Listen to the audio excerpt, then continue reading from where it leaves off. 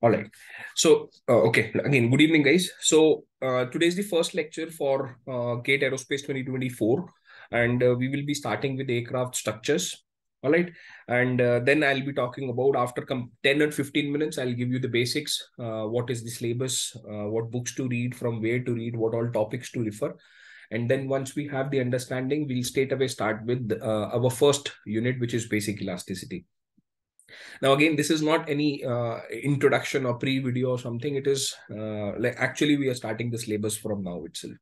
All right, so I'll straight away go to the next slide. So guys, here, if you see, uh, I have marked this down at structures. Uh, this is your syllabus to be very precise.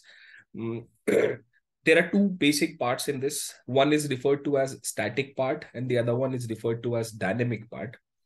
Now, when I say dynamic, uh, I will be explaining more detailed uh, difference between these two in coming slides. But you should know one thing for sure. When we talk about dynamic, right, we will be talking about time terms here. All right. So when I say time, you know, velocity uh, is nothing but ds by dt, acceleration, and hence mass will come into picture. So we typically say these terms are nothing but our vibration problems. When we say dynamic effects, we will be talking this about as vibrations, which is altogether a big unit, separate unit.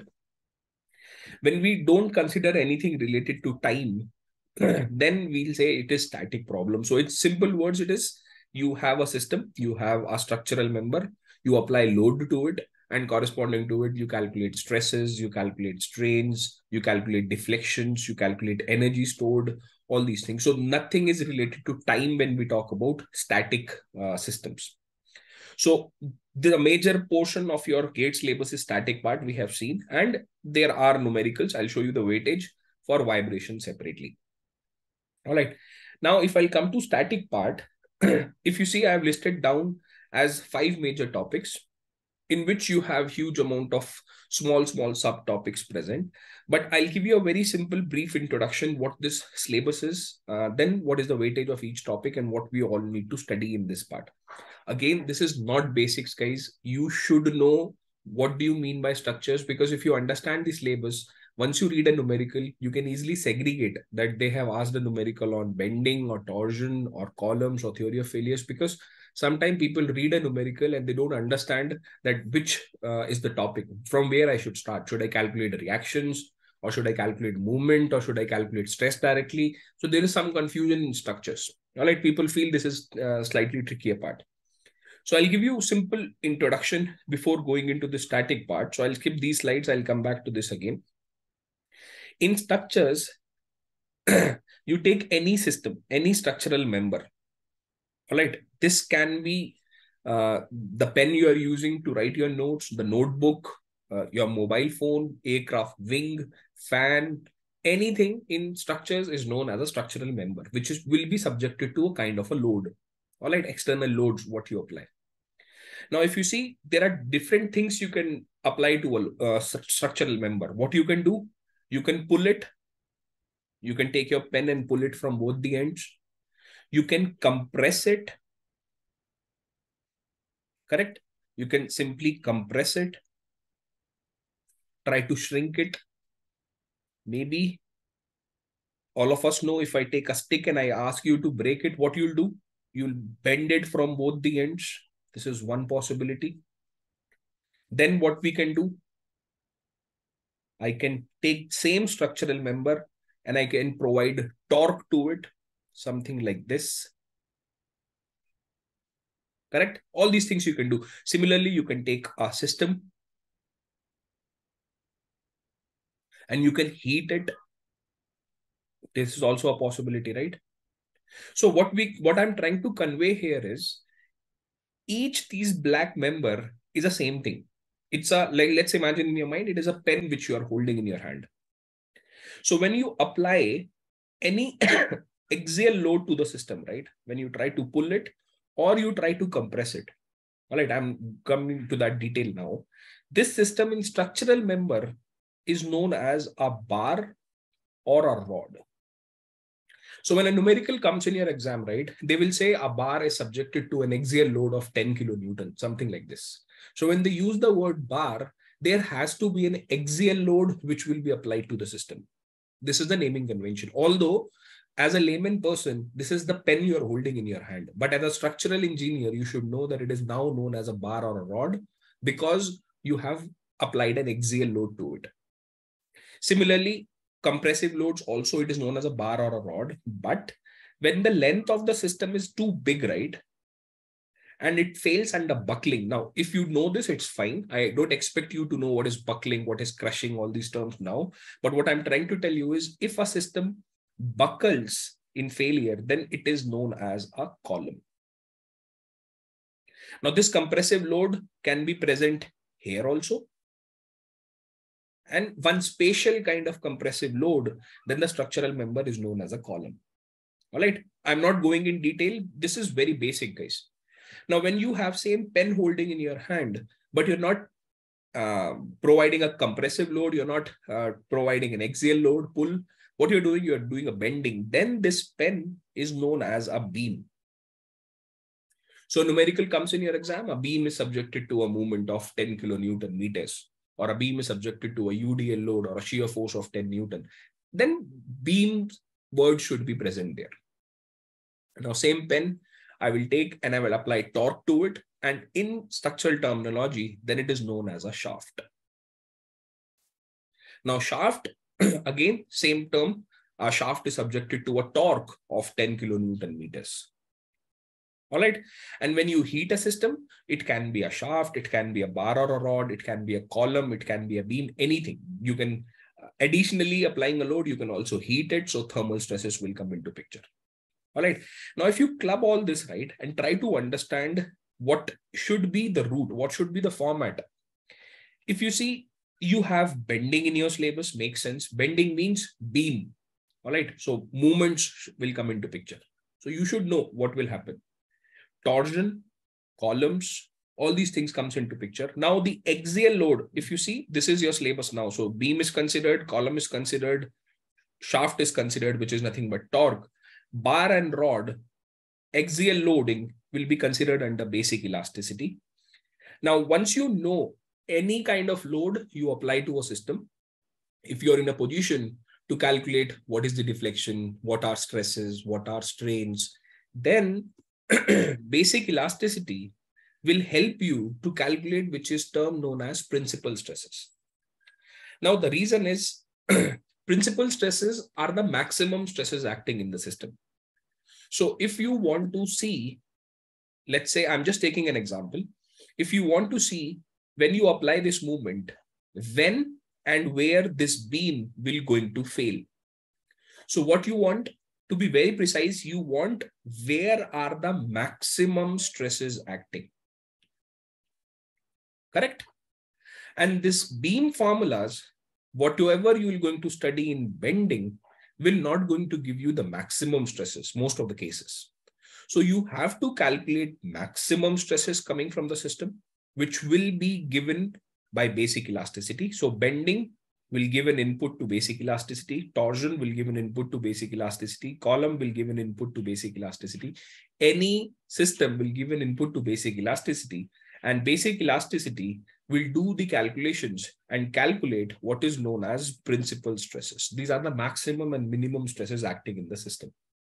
So I know the most problematic stress where my system will fail and now, as an engineer, what we're going to do is we're going to take these principal stresses and supply it or give it to theory of failures. Now, what theory of failures will say? Theory of failures, there are different theory of failures, von Mises, Tresca, Rankine. So I'm not going in detail now.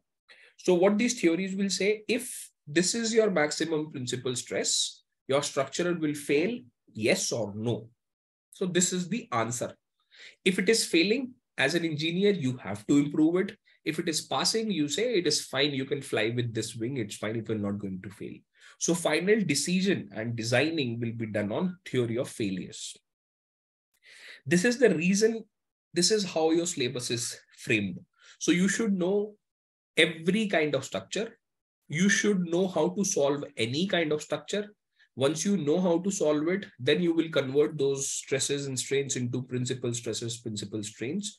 And once you know this, you can design your aircraft uh, structures. So very simple example, you have analyzed your aircraft wing.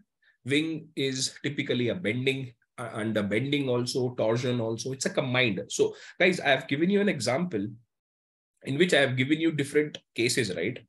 In real life, it is not separated. In real life, you can have a structural member which is subjected to a pull, which is subjected to a bending movement, which is subjected to a torsion. So this is combined effects. So you need to combine all these effects and then solve and see whether your system is failing or whether your system is passing.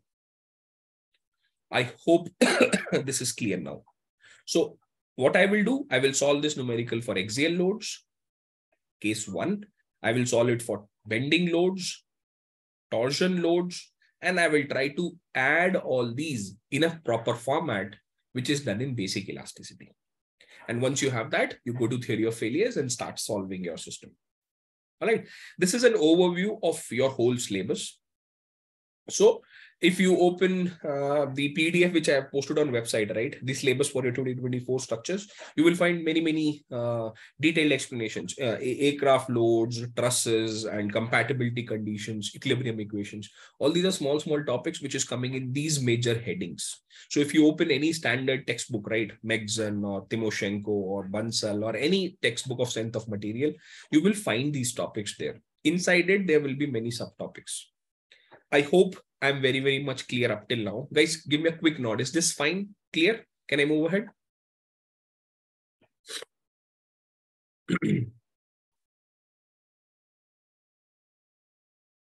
Perfect. Okay, I'll move ahead to next slide. Now, before going further, you should know, right? What is the weightage? What they are doing in your exams. So this is very quick. I will just take two minutes into this because my intent is to show you this part. If you see this column, right? Because this is our first i told you this is our structures month.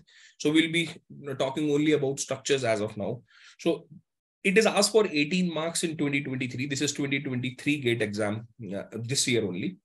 And this is asked for 18 marks four one mark question and seven two mark question covering around 18 marks. So if you see entire subjects right this is the most heavy topic of your entire gate syllabus. Of all the seven subjects this is the most heavy topic uh, asked in your exam. So we are talking about 18 marks within this month. But believe me, it is very, very conceptual.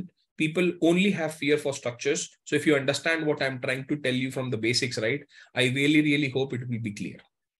So this is just an overview of 2023, what has happened. now, this is detailed part. So all these topics, which I've already discussed, basic elasticity, bending, torsion, columns, theory of failures, vibration, how much questions they have asked from uh, in 2023 from this. So if you see, there are two one mark question, one two mark question from basic elasticity. So ask for four marks. Similarly, bending ask for four marks, torsion one numerical, column one numerical, theory of failure one numerical, all of two marks. And then vibration, two one mark question and one two mark question. So weightage is 18 in the end you should know this because when you're starting your preparation from scratch from first day you should know what uh, you are preparing how many how much marks it carries and um, what all things i should study and focus more on. All right. Now this is enough of the background. What we're going to see in structures what happened last year what is the weightage and all. I'll go to the uh, first unit which is basic elasticity. All right. Now don't get fear in this. If you see basic elasticity, which uh, one simple heading, right? You see the number of subtopics in this now. It's a huge list. If you see, there are some 18 points in this. So the intent is when you finish basic elasticity, you should mark each and every point here. You should know that I have finished this also, I have finished this also, everything. So in this, I have uh, included trusses, which in your syllabus it is mentioned separately loads acting on an aircraft, which is mentioned mentioned separately, compatibility conditions. So as of now, I don't expect you to know these headings, and I'm not also reading each and every statement. It doesn't make sense. Why there is no point of saying thin wall pressure vessels, airy stress functions. You don't know this. But what I'm telling you is this is the whole topic we're going to study in basic elasticity. And then we'll say this topic is done. Now, books to refer for basic elasticity are these two books. Definitely, uh, first priority for us for this month at least is to finish um, what you're going to do, you're going to see classes, you're going to see videos, and you have the material books. This is the first priority for this month.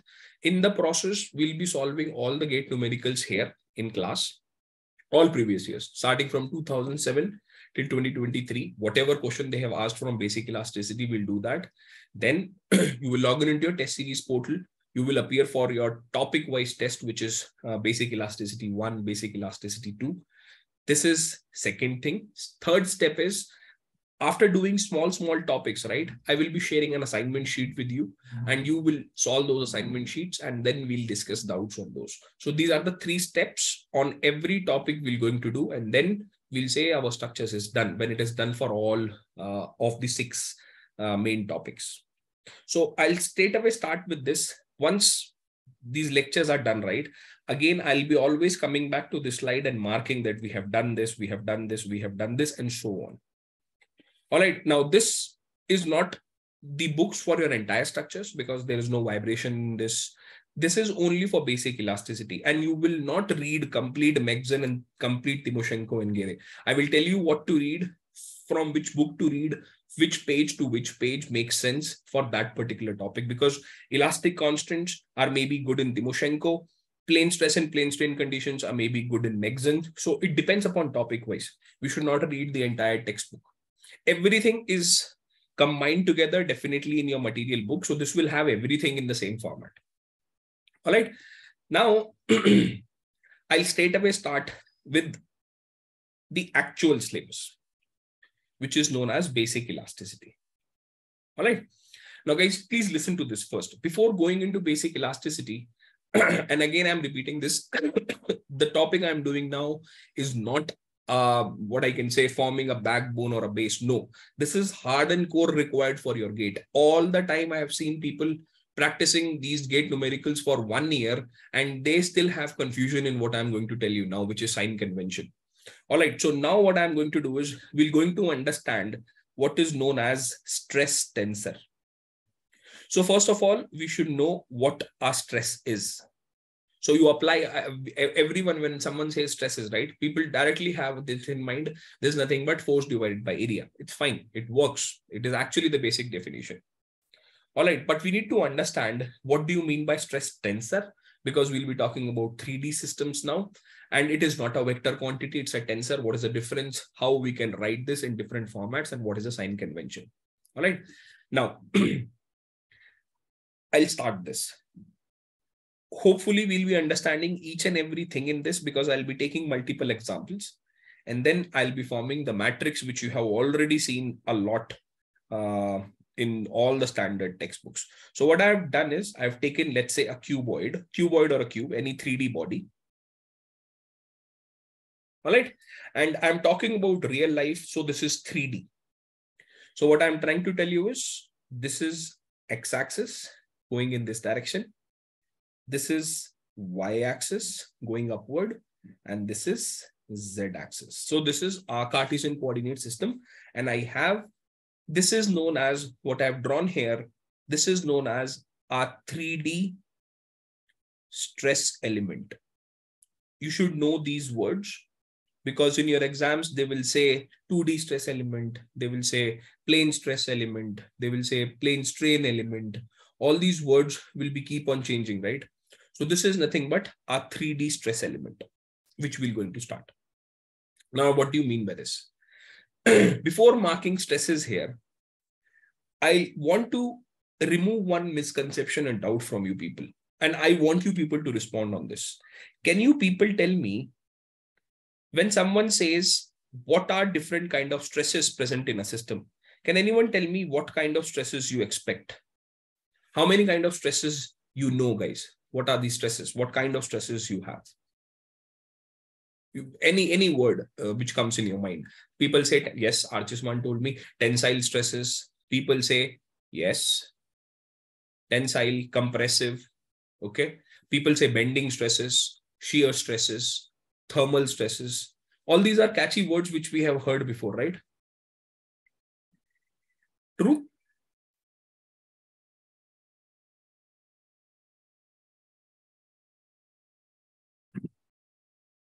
Internal stresses, okay.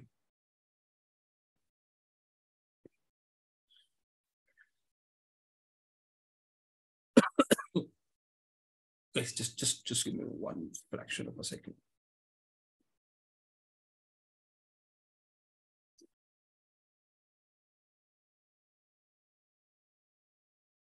Okay, yeah.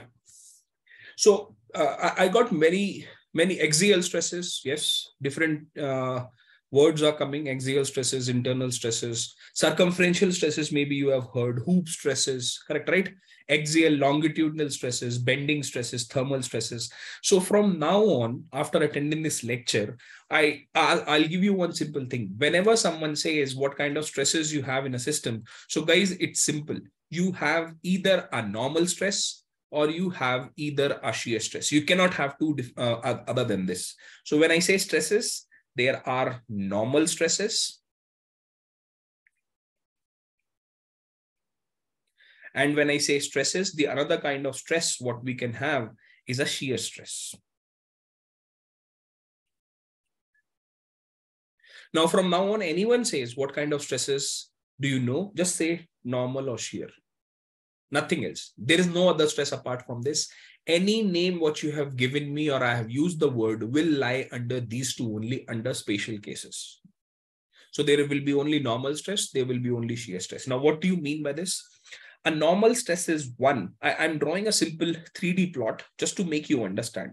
Let's say I have a system something like this. Let's say I have a rod of rectangular cross section. I hope you can visualize this all right, kind of a brick or something I'm taking. And you can easily say that this is the cross section. So it's a rectangular cross section. Similarly, it can be circular cross section.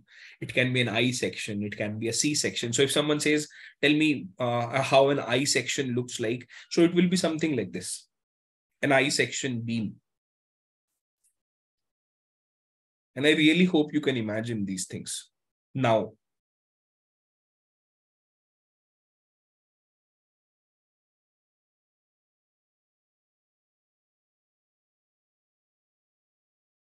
something like this. I hope you can imagine now what I was trying to tell you. So this is an I section. Similarly, you have a C section. Uh, the reason of telling I and C because this is the most, uh, what I can say, popular cross sections used in aircraft wings.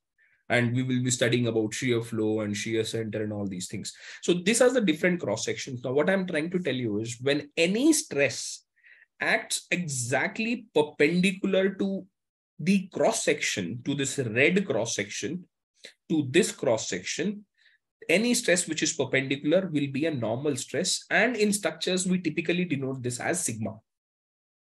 So any stress which is trying to pull your system either tensile or compressive. Now, if it is outside, then it is people say it is tensile. If it is compressing, then people say it is compressive. So tensile and compressive stress. But these are nothing but normal stresses only. Tensile and compressive stress are nature of it. All right. Similarly, these stresses you will see will come because of bending. So bending stresses are also type of normal stresses. Similarly, these stresses can come because of heat, that is thermal stresses, which is again part of normal stresses. So what I'm trying to tell you is the major name is normal stress, which can be of different types. It can be tensile, compressive, thermal, bending. Some people say internal, longitudinal stresses, axial stresses, different, different names, but all these are normal stresses. Now, any stress which acts parallel to the cross section, kind of rubbing the cross section. You can imagine this in your mind. So any stress, something like this, you see, it is not perpendicular. It is kind of rubbing this cross section as if you're using a rubber into it is nothing but our shear stress. Now in structures, people will name this as tau or sigma also sometimes depending upon the suffix. Now this is what the major thing we're going to learn today. But the major division you know, what is a normal stress? What is a shear stress? How normal stress looks like? How a shear stress looks like? This we should understand properly. So from now on, please don't use catchy words. Simply say normal or shear. All right. Now, what do you mean by and what is the sign convention? How it works? So I'll go to this uh, stress element now. This is 3D stress element. All right. Later, now itself, after finishing this, we'll be talking about 2D stress element, different kind of stress systems, which is very big step in understanding structures. So you'll be really good after this lecture only. Uh, once you'll see all the numericals, right? The numerical starts like this only. A 3D stress element, a plane stress element, a plane strain element is subjected to this, this, this, this load. So you know the element, half of the numerical is solved. Now, please help me with this. I will try to follow a color code. This is a very complicated diagram. It is very nicely given in Megson, but difficult to understand. So if you see this face, right, it's a face of this block, this brick, which I have taken. All right. And now I want you people to understand, first of all, what is this plane? It's a plane, right? 2D plane, this red one. If you see this plane, if I'll roughly draw, is somewhat here. And I hope, really, really hope that you people will agree. True, if I'll draw the whole same 3D brick element here, and I really, really assume that you understand. I'm talking about this face, correct? So which face is this in maths, guys? Anyone? Mm -hmm. Okay, perfect. I got a good answer. YZ plane. Now, what do you mean by YZ plane? You need really need to understand these planes, guys. See, this plane will vary in y. You see, its height is increasing, right? And height is nothing but y direction. Correct. And it is also varying in z direction. You see, here z value is zero and it increases. So this is yz plane. Now, the easier word to understand planes in maths, what people say when you talk about yz plane, right? That is nothing but also known as x-plane. Similarly, if someone says what is xy plane, that means its equation is z plane. Now, what do you mean by this? I'll tell you a very simple thing so that we need not to do this in our exams all the time. When you see any plane, right? If you see this red plane, all right, what you see is which axis this plane is cutting. X, Y, Z plane means X remains constant. Perfect. So if you see this plane, which I have drawn below here, is cutting x-axis at a particular point, right? And that, that will remain fixed. X equals to constant. So simple words is when someone says, which plane is this? You simply see, imagine that this is kind of a knife and which axis will going to cut. So if you see this plane, if I'll take, it will chop off or cut my x-axis. All right. Now, once you know the plane, I'll be marking two stresses here. I'll go to a point here and perpendicular to it, I have a normal stress. So this is a normal stress. All right. The first suffix of this stress will tell you the plane on which it is acting. So if you see suffix is x, means this stress sigma is a normal stress acting on x plane. And the second suffix will tell you in which direction it is going. And if you people agree, this stress which is coming out, if you see this is your x-axis, right? So this is going in x direction. So sigma xx is nothing but my normal stress acting on x plane going in x direction. Guys, please give me a quick nod. Is this fine?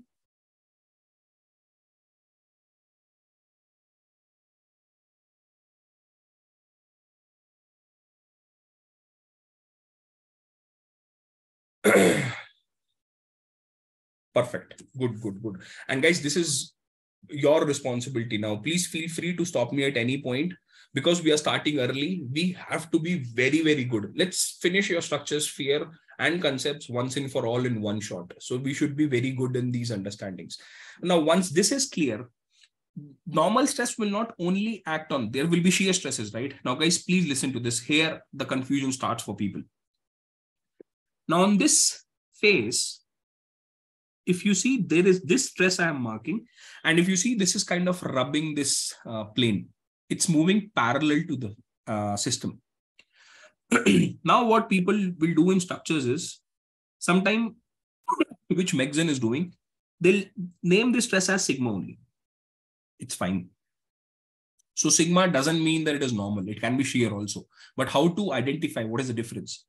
First suffix always tells you in which plane this stress is acting. So this is acting on X plane. It's fine.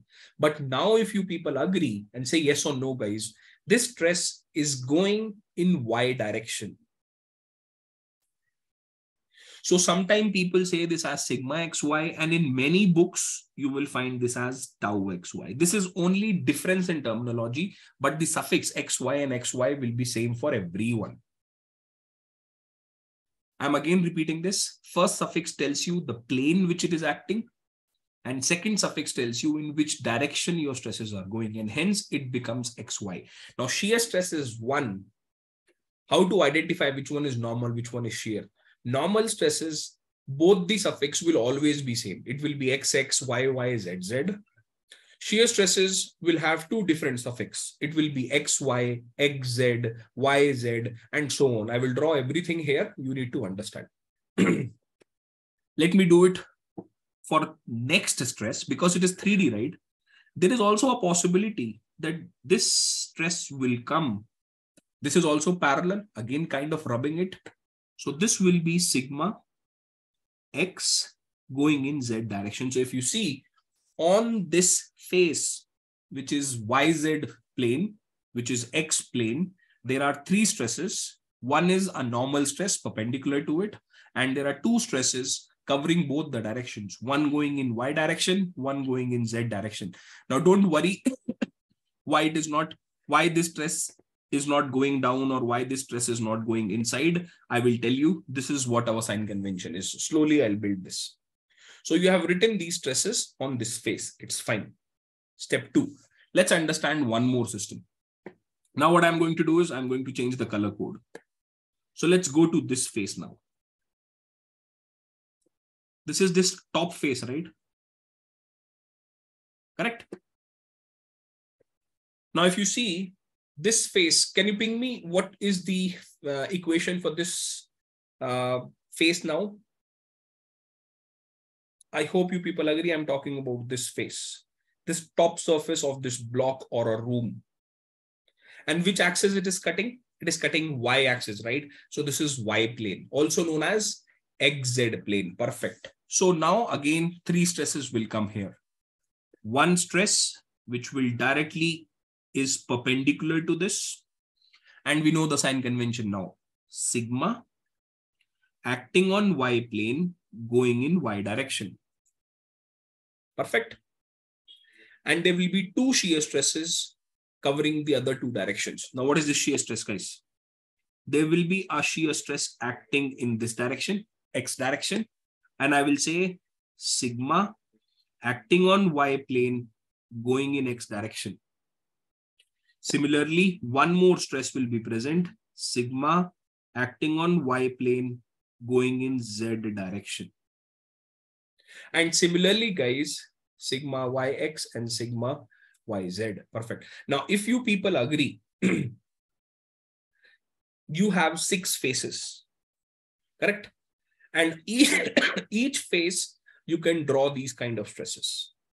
I'm going to do it for one more face and then maybe you can try it out for different faces later because I need to form stress tensor. Now I'll go for another uh, color code in this. Let's go to a different code. So let's talk about this face now. All right, facing towards, uh, facing you, this face. So if you people see or agree, this is cutting Z axis. So this is Z plane also known as XY plane.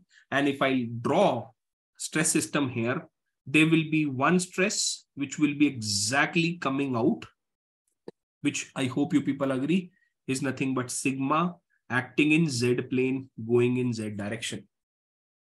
And guys, anywhere you feel you need a repetition, please let me know. I'll, I'll try to clear it. And then in the other two directions, there will be shear stresses which will rub this surface parallel to the cross section tangential stresses.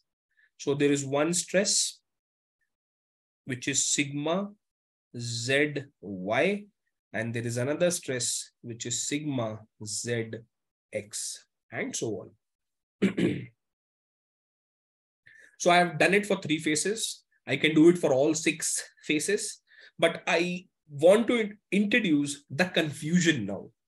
All right, up till up till this point, I've seen people understood this very easily and they will like this and they'll understand this that it is very much clear.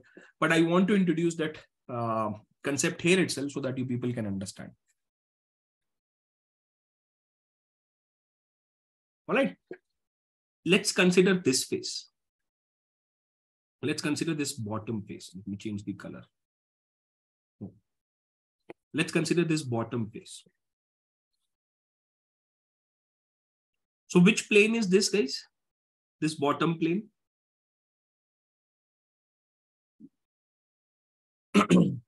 y plane, right? Y axis. It is cutting y axis if you see. So yes. Now, guys, please listen to this very carefully. This is new and the last part. Then we'll draw a tensor out of it. One stress will come exactly perpendicular to it. This is exactly pointing downwards, like gravity acting downwards, right? And this, this will be a normal stress acting on y plane going in y direction. All right, same thing. Plane and in which direction it is going. It's fine. Then there will be a shear stress. Now, this is the important thing. I'm marking this shear stress like this, sigma acting on y plane going in x direction. Sigma acting on y plane going in z direction. True. Now, you please listen to this why I have reversed the direction. This is the major thing I want you people to understand. All right. Now the thing is this. Okay. If you compare two y-axis, this top one, this is y plane, right? And this bottom one, this is also y plane. On both these planes, normal stresses are sigma yy and sigma yy. Correct? But if you see one is going upward, another one is going downward, you should never use these words. These are coming outside tensile. So these are positive stresses for us. So you draw any face, not only top, bottom, left, right, front, back, any face, a positive normal stress is one, which is now the catchy word tensile in nature. So if it is coming out, it is tensile and we'll consider it as positive. If it is trying to crush the body, it is inside compressive, then it is negative. So if you see, don't, I've seen people saying, sir, this is going towards plus y axis, this is going towards minus y axis. So this below one should be negative. No. Any stress going in any direction, I'm not interested. It should be tensile, that's it. Then it is considered to be positive. One thing. Now, the second confusion I've seen people having is, sir, on top surface, sigma yx is going on right hand side and on bottom surface sigma yx is going on left side. Agreed. This is a very good doubt. This is the whole sign convention. Now i'm giving you a statement which believe me if you read 100 books right it will not be clear unless and until you understood the statement now. Our shear stress is positive. All right? It depends in which direction your normal stress is going. Guys, please listen to this, what I'm saying. If you see the top part now, this sigma y is going in positive y direction. If I'll remove this now, so that I can draw the coordinate system again. This is x, this is y, and this is z. So if you see on top surface, sigma y is going towards plus y, correct? if your normal stress is going towards plus y, then all your shear stresses on that plane should go towards plus x and plus z. And now if you see, this shear stress is going towards plus x and this shear stress is going towards plus z because my normal stress was going towards plus y. If you understood that, it's fine. If not, let me go to the bottom face and it will be clear. Now, if you see the bottom face, my normal stress is positive. Perfectly fine, it is positive. But if you see the direction, it is going towards minus y. And now if you want to draw shear stresses, you have to draw it going towards minus x and going towards minus z. Guys, believe me, this is an important concept. If it is clear, then please give me a quick nod, every one of you. If it if you have any doubt, then please tell me. I'll repeat these statements. Is it fine?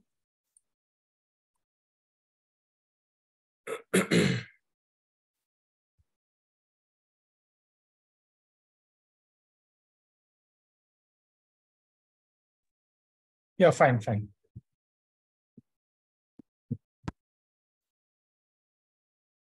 Okay, repeat the bottom part. Could you please repeat? I'll repeat the statement again.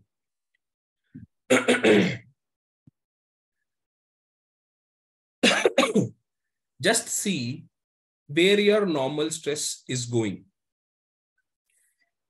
And uh, yeah, yeah, Rugma, uh, Archusman, please, guys, uh, if it is clear, please let me know where your normal stress is going. When your normal stress is going towards plus y are going upward, right? And what is this upward? This is plus y direction, right? Then my shear stresses should go towards plus x and plus z. When your normal stresses are going towards minus y, then your shear stresses should go towards minus z. You see, minus z is inside, right? And minus x means left hand side. Is it clear now, Rugma, Achishman, other people?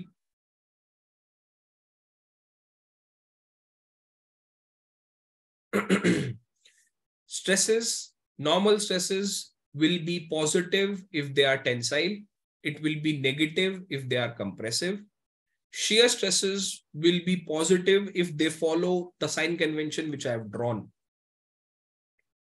So these are positive shear stresses. I'll give you many, many examples. I know this will give you slight, slight confusion, but in once I'll start numericals on this, right, and give you a 2D stress element today itself, it will be clear. You will be playing with these terms. As of now, what I'm telling you is you should write this. This is nothing but our sign convention.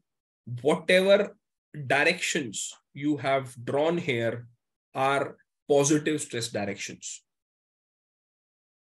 I know it is slightly confusing. I'll I'll explain this with the help of uh, the better diagram, which is very easy to relate 2D stress element. But before that, I want to see the reality, which is 3D. 3D is a real life, right? okay. Now, if you people agree, can you anyone tell me how many stresses you people expect you have in the system?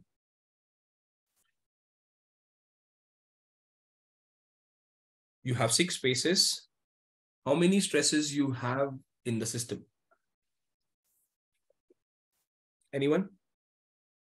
Okay.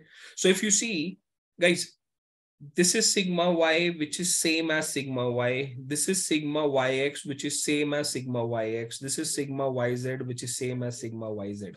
So two opposite faces have same stresses. So three and three are repeated. Similarly, you will have three stresses acting on this face, which will be same as this face stresses.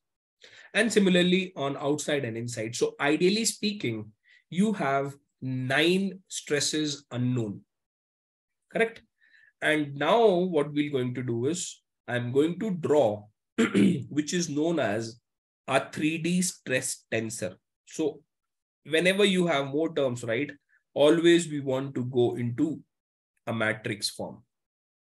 What is this matrix form? All right. Guys, please listen to this carefully. Everyone knows what is matrix, correct? So when you are talking about a 3D stress element, your matrix will be a 3 by 3 matrix. When you talk about 2D stress element, it will be a 2 by 2 matrix. All right, first important thing to remember. Next is in matrix, we know first suffix represents row, second suffix represents column. So in your mind, you should read it in this way. Let's say this is X column, Y column, Z column. This is in your mind. And this is X row, Y row, Z row. And now what I'm going to do is I'm going to fill stresses here. So what are these stresses? Sigma, x row x column, sigma x row y column, sigma x row z column.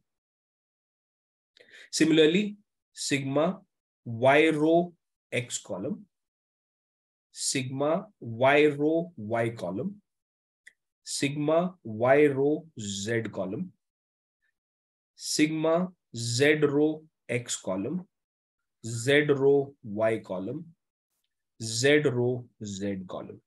So this I have done by because I know some small portion of matrices. I have done it before. So I have written this, but I don't want to do it again and again. The things we should understand is if you now you see, right, this diagonal elements of this stress tensor are nothing but normal stresses. So if you see, there are three normal stresses acting on the system, sigma x, sigma y, and sigma z. So there are three normal stresses. And if you see the upper triangular matrix, upper triangular part and the lower triangular part, these are nothing but my shear stresses. So we have, as of now, guys, please don't learn this. I, I, I, I'm going to prove equilibrium equation and complementary nature afterwards. But as of now, what I'm showing here is that diagonal terms are normal stresses in our stress tensor and off diagonal terms are nothing but our shear stresses. So if you see, there are three stresses normal and six stresses in shear. And in total, in stress tensor, 3D stress tensor, you have nine unknown stresses. Give me a quick nod, guys. Is this clear now?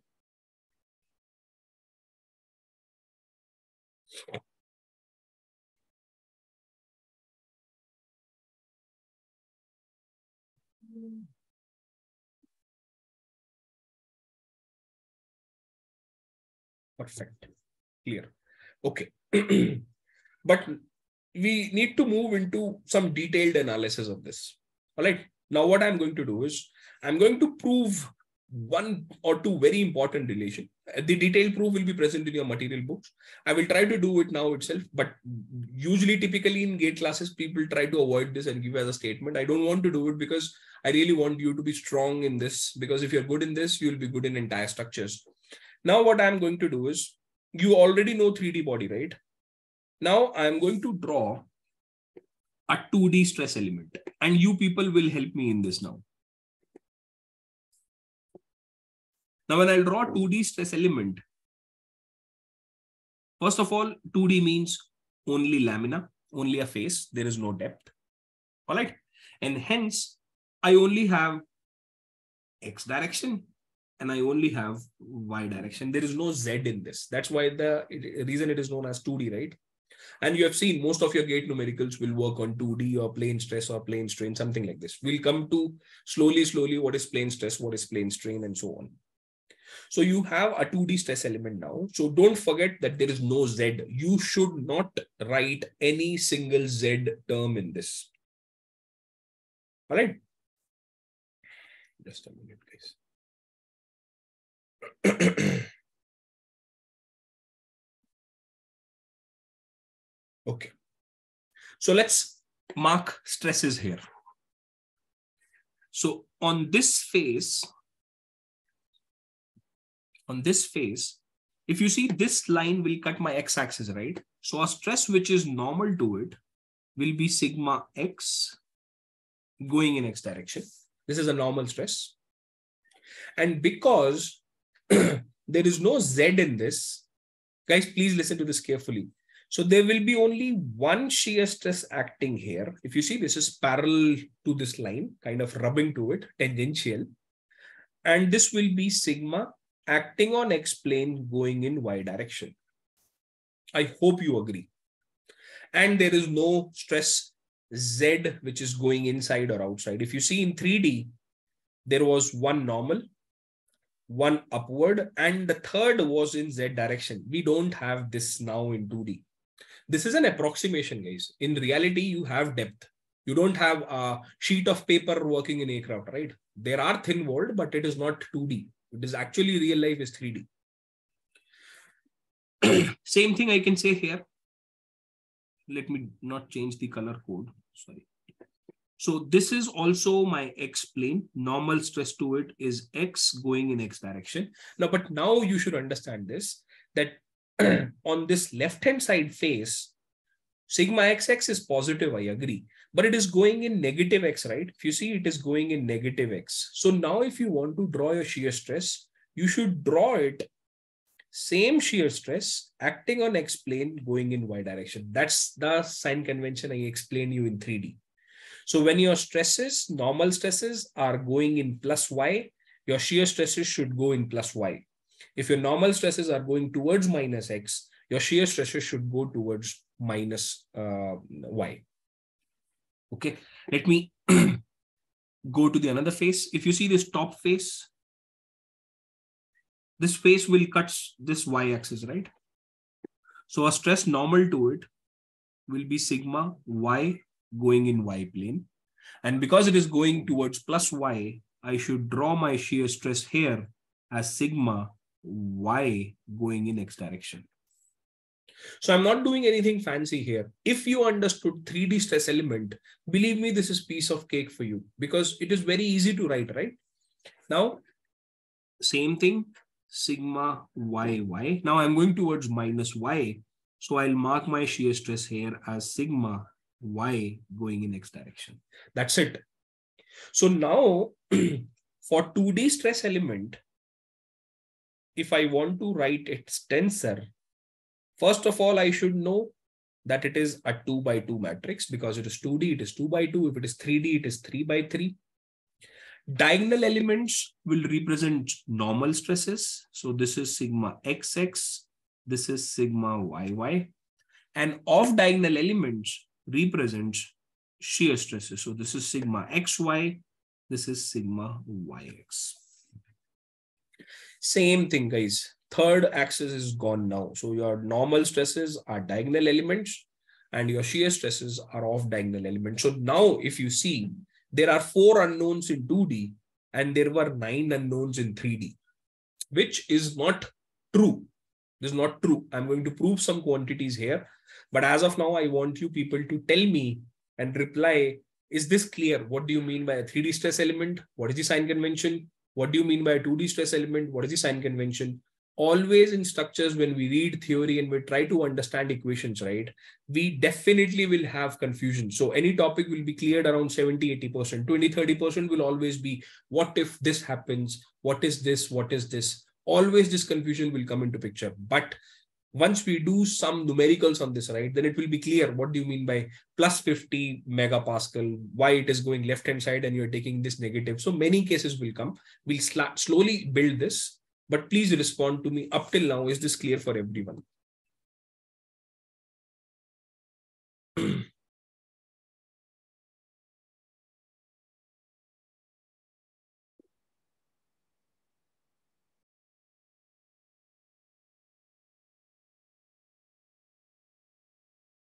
Okay.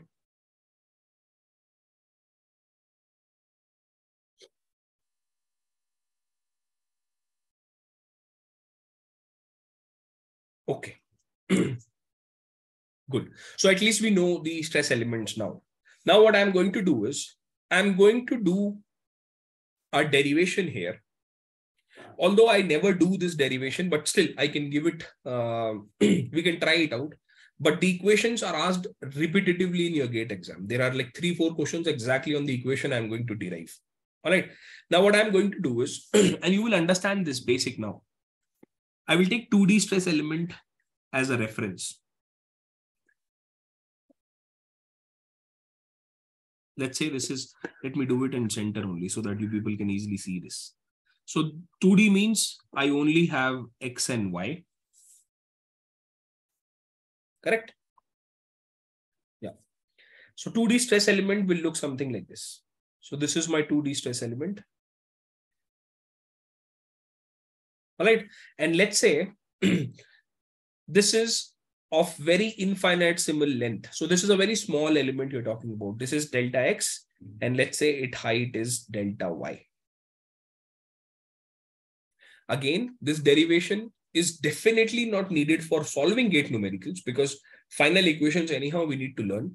But you should you will should know from where these are coming. It will not take more than 5 minutes. So it is a good thing to have. And then we will spend more times in equations and understanding those equations and solving those numericals on those equations. Now if you you all of us know that if i take a 2d stress element right on this face there will be a stress sigma xx and there will be a stress which is sigma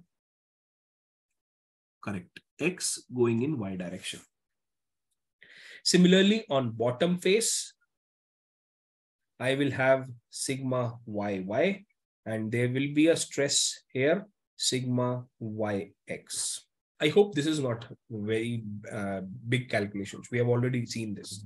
But now for derivation sake, what we're going to do is this. If I go to the right-hand side, guys, please listen to this carefully. you will find this term.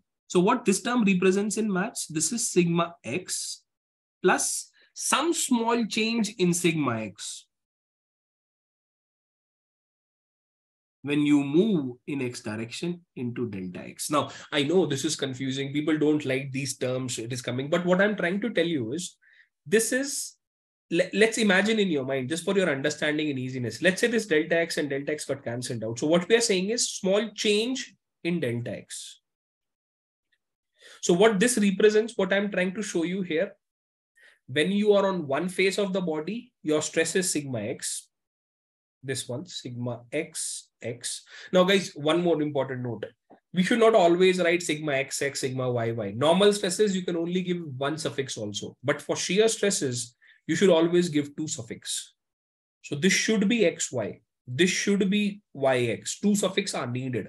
But for normal stresses from now on i will not write sigma xx i will write sigma x only it is clear because both suffix are repetitive right if one face is having sigma xx, another face, we are assuming that it is having slightly different value. It Let's say sigma x is 10, then 10 plus 0.1, some small value. And it depends upon what? How far you are going, depends upon this delta x. Same thing I'm going to do for shear stress. So this is sigma xy, which was acting on my left face plus small change in this sigma xy when you move from one end to another end. And you need to cross this delta x right?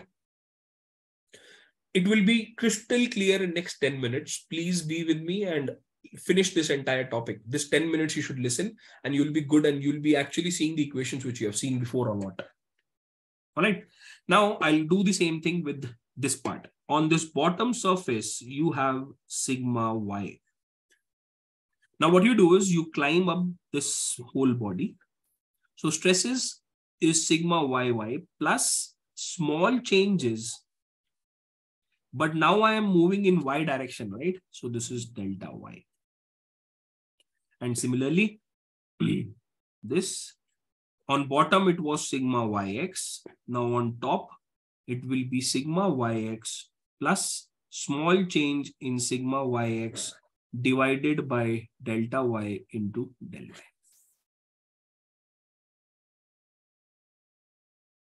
Sorry, sorry. Yeah, yeah, yeah. This is my bad, guys. Please, please, please, please change this.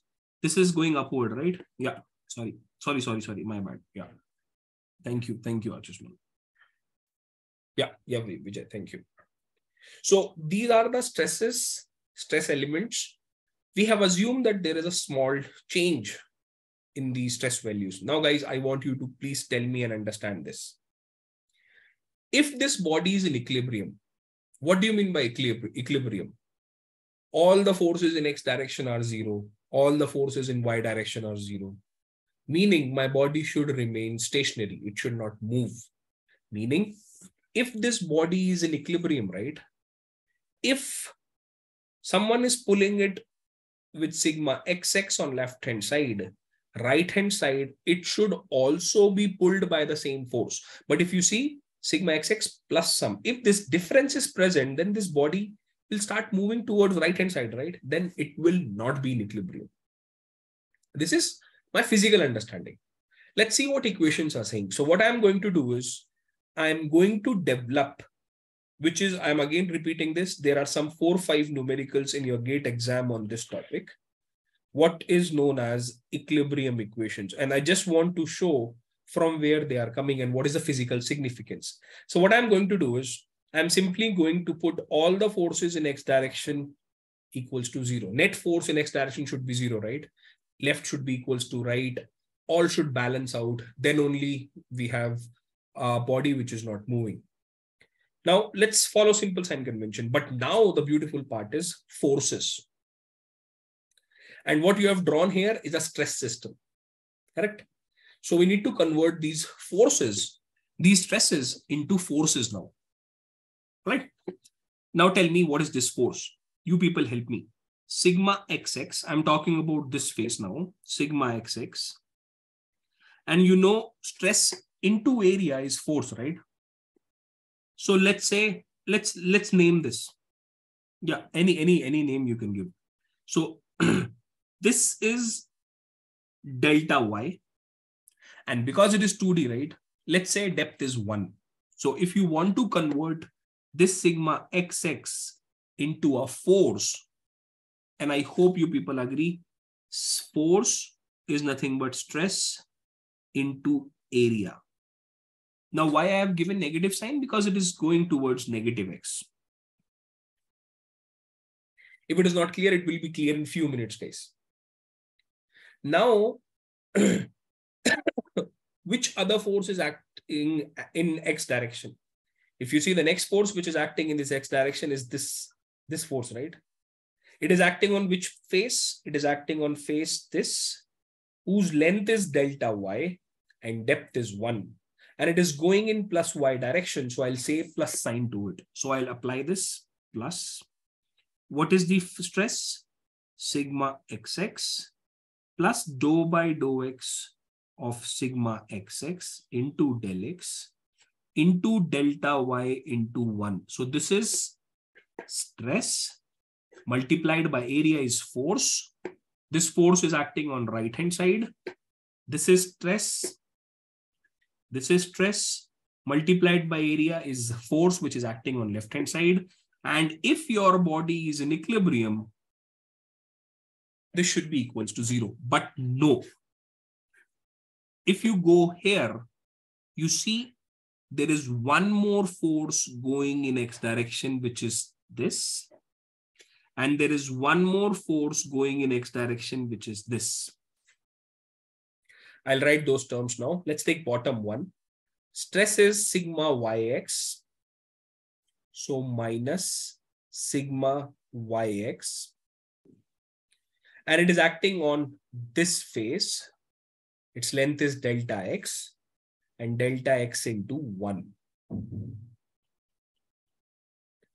plus this top one, this multiplied by delta x into 1 going in positive direction. So I'll say plus sigma yx plus dou by dou x of sigma yx into del x into 1 and all these things. I'm not interested which one is shear, which one is normal. All the forces should balance out. Then only my body will not move not towards left, not towards right. It's kind of a tug of war. If it is equilibrium, both should be same on left and right. Now, if I do simple maths here, right, plus minus multiply divide, I hope you people agree and everyone should point out if they are clear. This sigma x into delta y into 1, this term will got cancelled out with this term. If you see, this will be multiplied with this, right? And this term will be cancelled out with this term. You can see inside. So what is left out terms? Left out terms are dou by dou x of sigma xx. Correct? Okay, let me write that also if you need. Into delta x into delta y plus dou by dou x of sigma yx into delta x delta y is equals to 0. I've missed one delta x here. This is delta y and this is delta y. Sorry, I missed that. You can see this stress is this stress is this one only, right? You just need to copy this one. I have missed that. I have written x here. It's fine. It should be y and it is multiplied with delta y. This should be equals to zero. now everyone knows it is equals to zero, right? So I can even eliminate these two terms. And finally, what I got?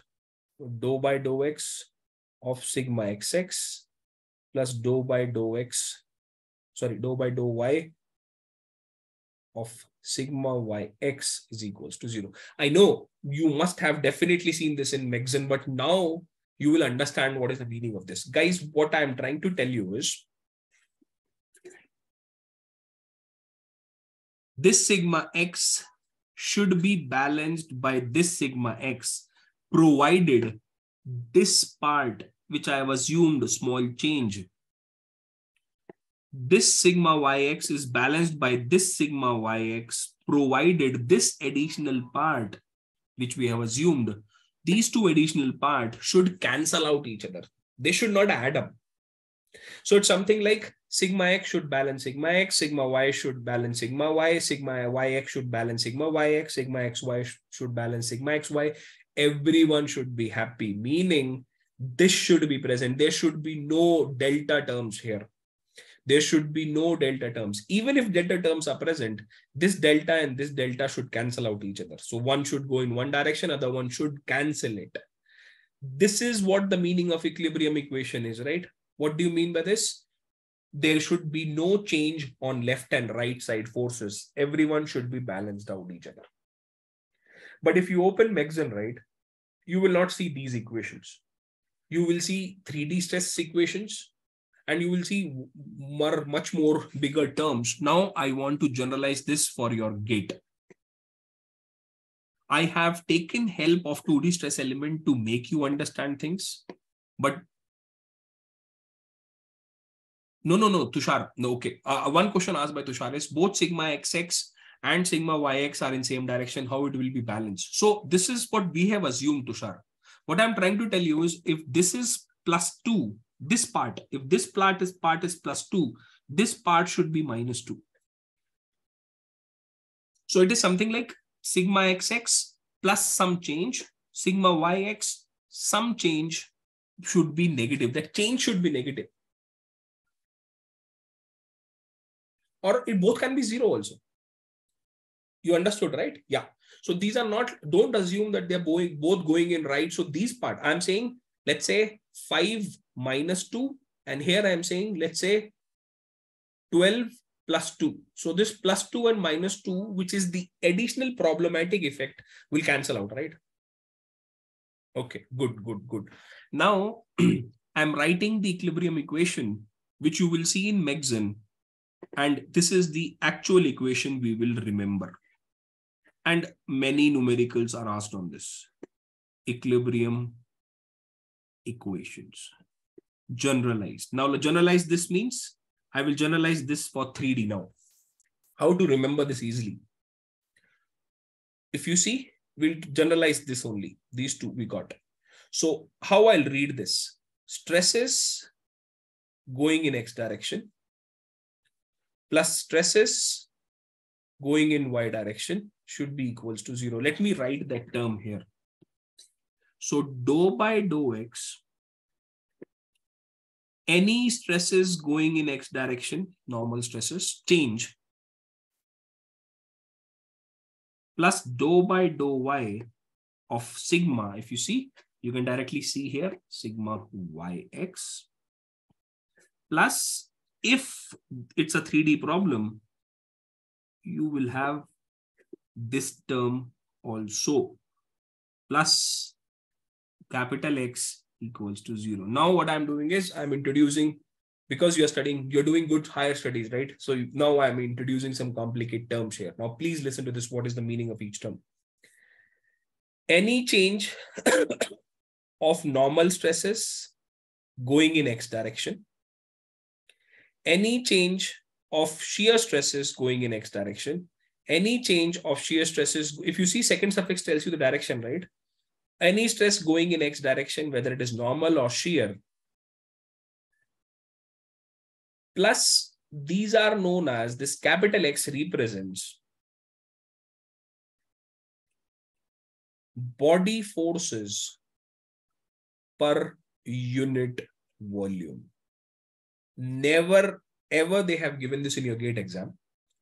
But if you read any book, you will find this. Now, what this means body forces, simple example is weight. So it's not always like you are pulling it. Sometimes weight also act, right? But typically it won't act in X direction. It will act in Y direction, vertically downwards. But let's say if we have some body forces, I'll consider that also. So your body forces, your external forces, all should cancel out each other in such a way that your whole net movement in X direction should not be present. That's the meaning of equilibrium equations. So whether it is normal whether it is shear, shear, body forces, everyone should cancel out each other. And this is known as equilibrium equation in X direction. I'll come to this per one per unit volume part in like two, three minutes. Let's learn this here itself. What is second equilibrium equation? So this is equilibrium equation in Y direction now. All right. What is the easiest way? When you're talking about Y direction, sigma yy is with respect to y. When you're talking about this, guys, first I'll always write x.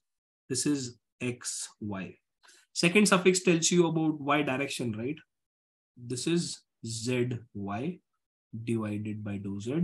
Plus, if you have any body forces in y direction, please equate it to zero. I hope you understood the process. If it is not clear, I'll, I'll simply explain this. If you see second suffix everywhere here, right? stresses going in y direction, y direction, y direction, y direction should cancel out each other. If you want to write same equation for z direction, it will be this.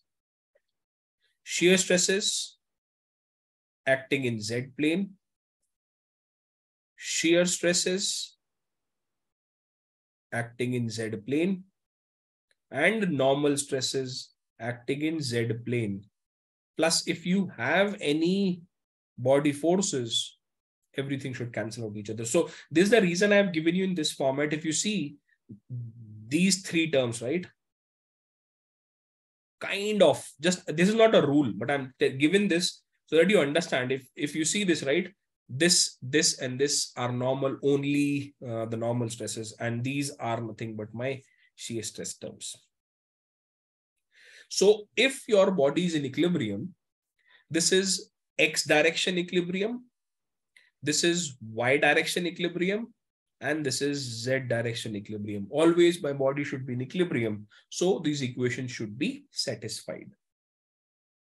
So you know each and every term in this. You know what is sigma x, you know what is sigma x, y, y, x, and also on. So you have written three equilibrium equations.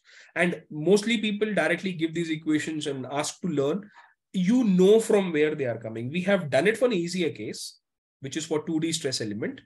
And you end up with this, and then you have generalized this.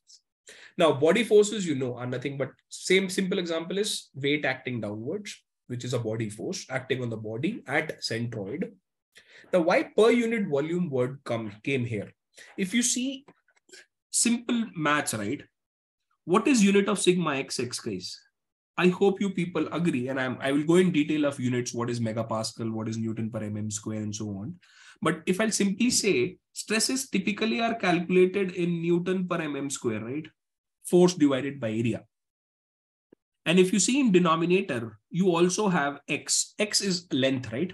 Change in length, which is also having a unit mm. So it becomes Newton per mm cube. And I hope you people agree. This is force per unit volume now.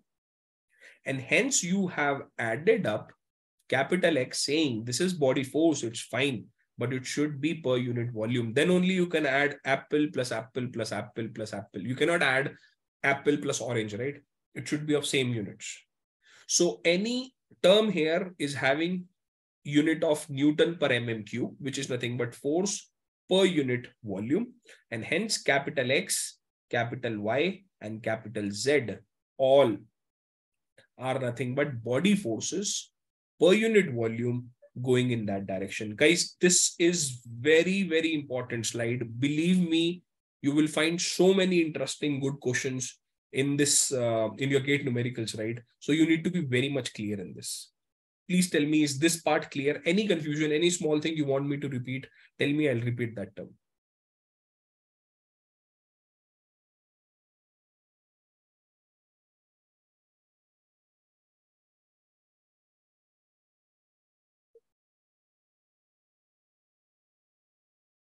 Okay. Perfect. So if this is clear, this is the second step and uh, we are done almost guys. In 10 minutes, we are done with this uh, part of stress tensor. Now, second derivation, which definitely I don't want to spend time in this derivation, but you should know from where it is coming. Now, the second thing what we can do is you can take moment about this point from all these stresses. Now I know it is difficult. So this is the reason I don't want to spend, but you should give it a try. If it doesn't work, we will do it together tomorrow again. And if you have doubt, we'll do the derivation also. if you see movement will be created by this force into this length, force into perpendicular distance, this force, this force, and this force. And movement should be zero, right? For equilibrium, movement about any point should be equals to zero. So if, if you people agree, you have done force equilibrium here. Now what I'm asking you to do is do movement equilibrium. Take movement of that particular stress system stresses at center of gravity. I should use the word centroid and equate it to zero. Once you do that, now I'm not doing it because it doesn't make sense to repeat these things. The output is we will came to know that the shear stresses are complementary in nature, meaning sigma xy will be exactly equals to sigma yx sigma xz will be exactly equals to sigma zx. And sigma yz will be exactly equals to sigma zy. I again repeat this, this can be proved just by taking a moment about that particular point, moment equilibrium equated to zero, you will get this relation. This is already shown in your books. So uh, all standard textbooks also in your material books also. So it will be clear. If you want, you can give it a try. This part is known as complementary nature of shear stresses.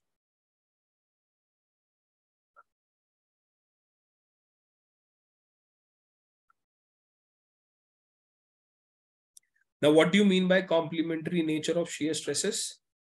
That sigma xy is also same as sigma yx. Now, if you go to any stress element now, just for your understanding, I'm doing this sigma xy,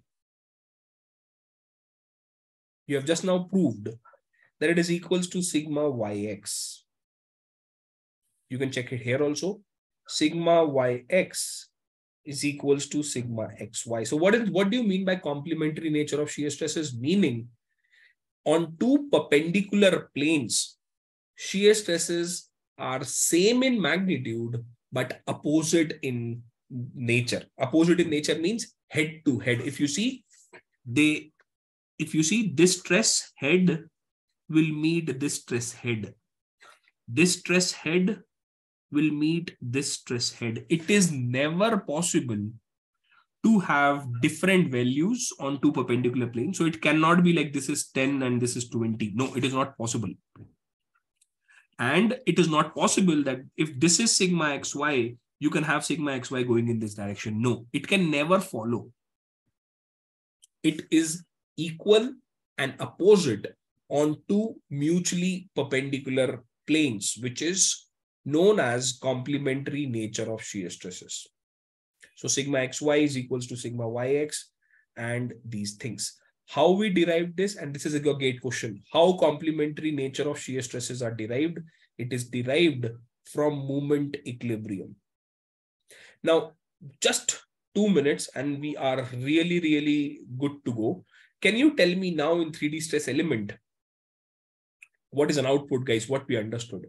We have just now proved that the sigma xy should be equals to sigma yx.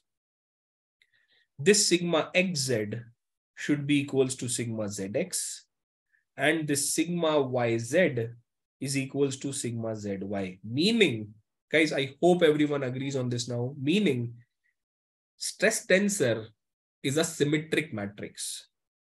You see, upper triangular part is exactly same as lower triangular part. So now what I am going to do is, so can you tell me how many unknowns are here now? How many total in a 3D in real life in one stress, how many unknowns you have? You have six unknowns, not nine, it is six now. So what I'm going to do is I'm going to summarize whatever we have done today by doing this. So what is our 3D stress element vector, guys? Stress is equals to, from now on, I'm not going to write this again and again. This I'll say sigma x, sigma y, and sigma z. No need to give second suffix. Second, I'll simply write this as sigma xy. So this should be sigma xy. No need to write yx also. Just write easy thing, whatever you remember. This is, let's say, xz. So this is xz. This is yz. This is yz. So you have three normal stresses and you have three shear stresses unknown. So in total, you have six unknown stresses in a 3D stress element, out of which three are normal and three are shear. So later we're going to solve these equations. We have to solve for these six unknowns, right?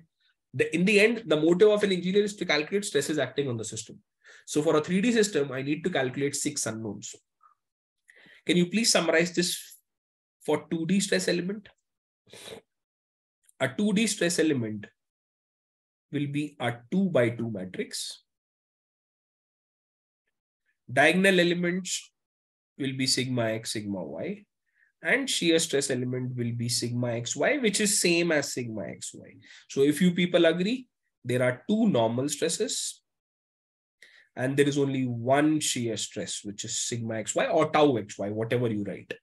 So this is three unknown stresses for a 2D stress element. Two are normal and one is shear.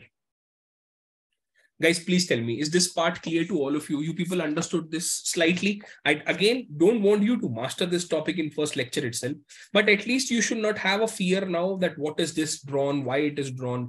Definitely, we have not solved numerical on this as of now, but you will be slowly, slowly understanding this and you will be easily learning this and uh, so solving numericals on this part. Is it clear? Can I expect uh, this is clear for all?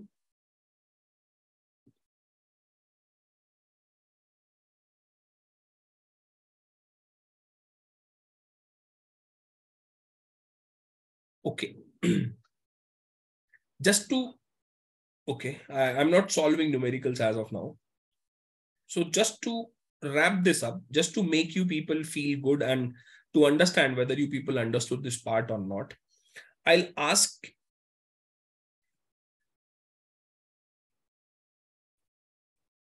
or I should not say I should ask, I will give you these names. So if you find something like this, let's say there is a body and you find this. How many stresses are acting on this? There is only one normal stressor, right? All right. There is no sigma 2. There is no sigma. You can write sigma x also if you like. What I'm trying to show here is that there is only one stress going in one direction and is only normal stress. If you see, there is no shear stress. There is no stress in y direction or two direction. There is no stress in z direction. So people say that this stress system is known as uniaxial stress system. Uni means only one direction. Axial means that one direction is nothing but a normal stress. So I hope it is clear. What do you mean by a uniaxial stress system? Again, this is not for you to learn. This is I'm just framing it so that you people can say that yes, this is I this I understood. Similarly, if someone says, let's say biaxial stress system. Now the name itself, you know what they're trying to say. So you have any stress element. So you're simply saying that there will be bi means in two direction, axial means. So this is, it should be something like this. Let's say it has sigma one and let's say it has sigma 2 that's it. There should be no stress in third direction and there should be no shear stress and hence the name biaxial. And hence i hope you understand the meaning of triaxial also. Triaxial means in all the three directions. Guys do you understand what i'm trying to tell you? Is this clear for everyone